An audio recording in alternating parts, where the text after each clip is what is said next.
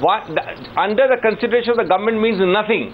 And he That's has, what I'm trying to tell you. he has also said that Uh, detaching under the chief technical the examination wing of the That a proposal, a proposal, I'm sorry Arnab, under the consideration of government only means, a proposal means from, moves from ministry to a, a higher level. It then has to go into several other layers before it comes to the cabinet. It is nowhere near even a uh, unripe fruit, So much why are less you- a semi-ripe fruit, So which but- everybody is trying to suggest. One, no, but let me complete, please, please, let me complete, Arnab. The second point is, I think it is definitely oversimplistic to suggest that just because you can't have two prime ministers or two attorney generals, you cannot have a multi-member CNAG. Ah. Let's look at the crux of the matter directly. We will. Uh, nobody is suggesting that you cannot have a contrary view. Mr. Kaul has one view, Harish has another view. I entirely respect that. But I am entitled equally, and now we are discussing a hypothetical uh, question because this has to come to committee, to cabinet, to parliament before it comes anywhere near active consideration. So we are discussing an a hypothetical situation. Hypothetically, I certainly stand by a view that in a democracy we should not be so insecure or so scared Exactly. as to suggest that the moment an idea is floated, the knives come out. Now, what is the idea? Exactly the same arguments which are made today were made when the election commission was sought to be made into a multi-member commission. Nobody suggests that two or three CAGs, and nobody is going to go to 15 if and when this member become, this body becomes that large. But nobody suggests that two or three CAGs are going to sign a balance sheet. What is being suggested Sir, is that there is there a- is a view that the CNAG cannot prescribe policy. The CNAG, for example, cannot decide that not doing things in a particular way, although the policy was the other way around, is wrong and causes loss. Now that's the point of view. I'm only discussing a point of view. Now if you have three CAGs, it is possible that they will take a different view collectively. Largely the same thing happened to the election commission.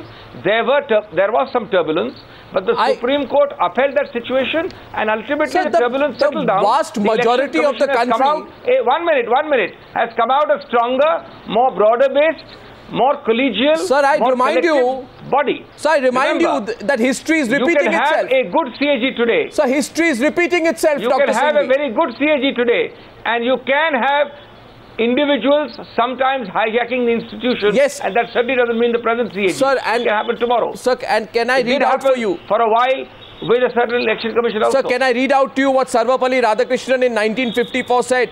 He said, if I have one advice to give and if I am presumptuous enough to give any advice to the officers of audits and accounts, it is this. Do not shrink away from the truth for fear of offending men in high places. President Rajendra Prasad said, in accordance with the powers vested in him, the CNAG has to carry on these functions without fear or favor independently in the larger interests of the nation. And Jawaharlal Nehru said, Arnab, with none, not one word, of, uh, not, not, with not one word of your rhetoric will I disagree. Sir, it's no With rhetoric. I am telling you that history is repeating It's itself. only the concept and the facts. Sir, the concept is this in 1962, then Defense Minister Krishna Menon questioned the mandate of the CAG. The PSC went into it. A Congress leader at that time, Mahavir Tyagi, went into it and he ended up contradicting the position of Krishna Menon. History is repeating itself, Abhishek Manu Singhvi 50 years later. This is exactly what happened in 1962. Why are you 1962. assuming, Arnab? Why are you assuming, Arnab, that any of these exercises is going to lead Because- to a weakening of the CAG? No, so be- At the end of the day, the admitting. election commission has become a better, Sir. a more stronger, Sir. a more collective institution. Sir, the president- Don't assume Arnab, the can I worst. answer this I No, think what's- it's what's our own point? insecurity which makes We're, we're, getting, that. we're getting some views. Uh, uh, Naresh Gujral raises his hand. Harish Salve coming to you. Yes, Naresh Gujral, your rebut to Abhishek Singhvi. Arnab, I have been a member of the PAC and it's very sad that after 62, now what happens is that the Congress members collectively, they attack the CAG and they, they make personal attacks on him. They almost are insulting towards him. So I think, you know, it, it's, it's a very shameful thing that we are sending a message that this institution is going to be weakened further. Uh, Sudheendra Kulkarni also wanted to come back into the debate on points Abhishek Manu Singhvi raised. Yes, Sudheendra Kulkarni. It's literally four versus one on this See, panel so far. Yes, first of all- Kulkarni. No, you know, this comparison between CAG and a multi-member election commission is untenable. Why? Because at no point in time was, uh, you know, any election commissioner saying that the government is rigging elections on a huge scale and as a result the government tried to make it multi-member. Ah. That was not the issue.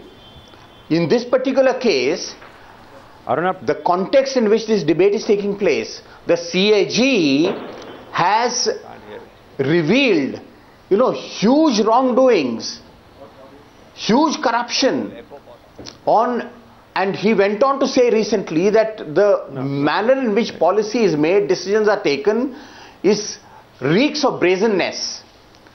And the government doesn't want an independent CAG, an impartial CAG. The timing. It's one thing uh, to change the organizational structure of a body by having more domain experts. Of course, our economy is becoming more and more complex. You need more domain experts I'm with you. to assist the CAG in different types of audit. But that is not what is being suggested. Doctor- what is being suggested Doctor is Singhvi, to undermine, weaken the power of the CAG, Arunab, which I is a want to know- constitutional body. Dr. Important Singhvi, point. Dr. Singhvi, here, here the points here tonight, and uh, Arunab, Harish before- Salve has one more point to you. Harish Salve, your point, and then I'm getting a rebut from Dr. see, Singh. The, the short answer, the Yeah. short answer why you cannot compare a election commission with a CAG.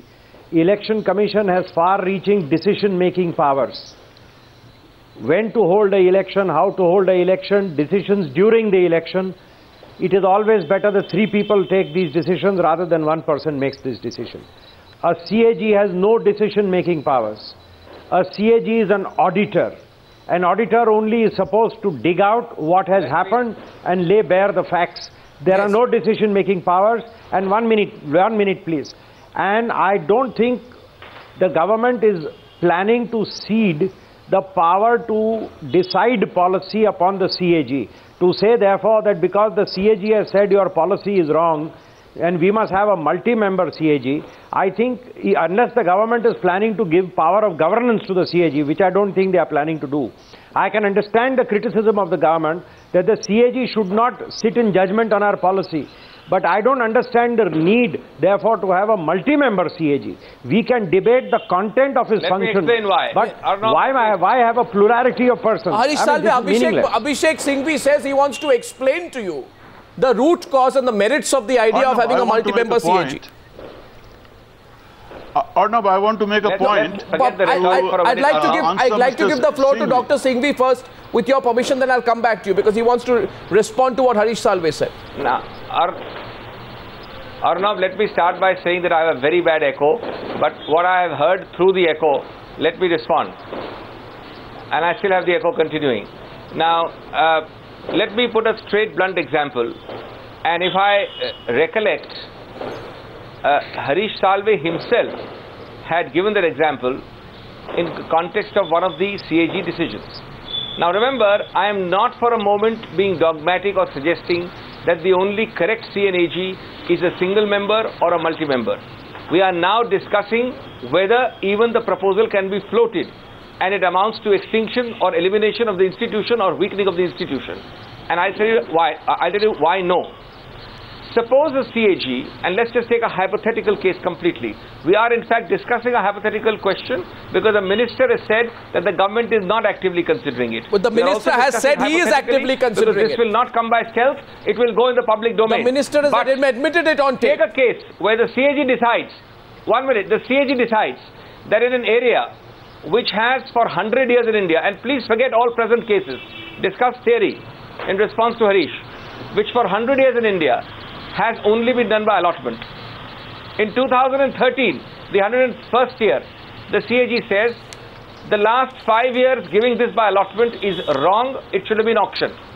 And I therefore find a loss in, in that it was not auctioned for the five years aggregating to 100 crores.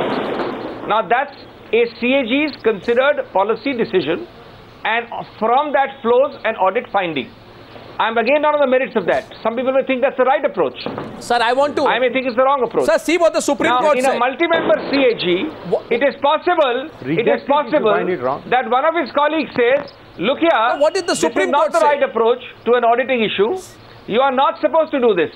Now, that is the difference in a collegiality of decision making Sir- versus individual. Sir, what the did the government court- is not to say it. On the contrary, Sir, what it is the- precisely because you want to insulate the government from any interference that within the CAG, a multi-member three men and if three Then- men then you have a problem of trust. Ultimately agree. I want to the right out to approach. Dr. Then. You have achieved a broader-based consensual decision. The, the, sir, the, sir the, the CAG so far since 1950 to now has been performing the role and lauded by every senior leader of the Congress party. It is only post these scams that the Congress party seems to be extremely uncomfortable with the way the CAG is constituted. I also want to read out what Justice Lodha and Justice Dave said in their report. Please hear me. into- The, the, the, the, the Supreme Court and your eminent lawyer said CNAG is not the traditional Munimji to prepare only balance sheets. It is constitutionally mandated to examine the efficiency, effectiveness, and economy of the decisions of the government in using resources. If the CNAG does not do this, then who will? This is what the Supreme Court said. Uh, Mr. Kaul also wants to respond to you. Mr. Kaul, your response to Abhishek Singhvi. No, Please the- hear. How The will it point become less if Singhvi three is of them do it? So, How but then you that, said that. uh, rhetoric become less if So, three of them sir, do but it? then you said the decision is not even under consideration. Then why are you defending the idea to make it a multi-member body? May I ask? No, I think the problem that's your here is program. that No, we are Your shooting in the program wrong is discussing direction. a, the, the floating of an idea which has been denied by the minister. So which has been which has been admitted by the minister on tape. I go by the tape. You can subject the tape That's to why I forensic said examination. that we are discussing a hypothetical situation. So then then then That's you can subject the tape to repeatedly, forensic we are discussing a examination. hypothetical situation. No, it's a, the tape can be subjected to forensic examination, Dr. Singhvi. I have a live program. One second. Uh, Mr. Kaul, Live please. program. Please hear Mr. Hello? Kaul's response. In, to you. Look, let me let me put the debate in perspective. The question here is the mandate. What Mr. Singhvi is, Dr. Singhvi is referring to is the mandate of the CAG. Yes. Whether he should audit policy That's or right. not. Now, Yes. I don't think there is That's any right. great debate on that issue. The CAG in democratic countries do not audit policy of government because we elect the government to achieve the social, economic and political objectives of the state. We don't elect the CAG or anyone else to achieve those objectives. That's what Mr. Salve So said. therefore, the CAG should not audit policy. But the problem lies in our DPC Act. Instead of the government talking about, you know, collegializing the decision making in the in the CAG's organization, they should be talking about amending the DPC Act to clearly state what this uh, CAG can audit and what it cannot audit. The international standards That's are right. that performance auditing, which is the problematic area in, in this issue, it requires a specific written mandate of the parliament. Because ultimately the CAG is not serving the people of this India, only indirectly. His primary responsibility is to serve the parliament and see that how this executive can Yeah. be made accountable That's to the the parliament question. through the process on That- financial that's matters. That's the question So tonight. for that And purpose, Arunabh- what, you- what is required is not quick changing the structure Wha- of the CAG organization, Yes. but changing the mandate of the One- CAG one to quick clarify the difference between effectiveness and policy. That's and one point to Mr. Salve. One point very quickly One- to Mr. one- Salve. One quick on point. Yes. See, we can't, we can't punish the organization of the CAG for a polarized polity of India. If the CAG goes wrong, he is only reporting to the PAC. The ministry is explained to the PAC where the CAG has gone wrong and the PAC is perfectly within its rights to reject his report That's on true. a particular issue. That's the true. last word is of the Public Accounts Committee.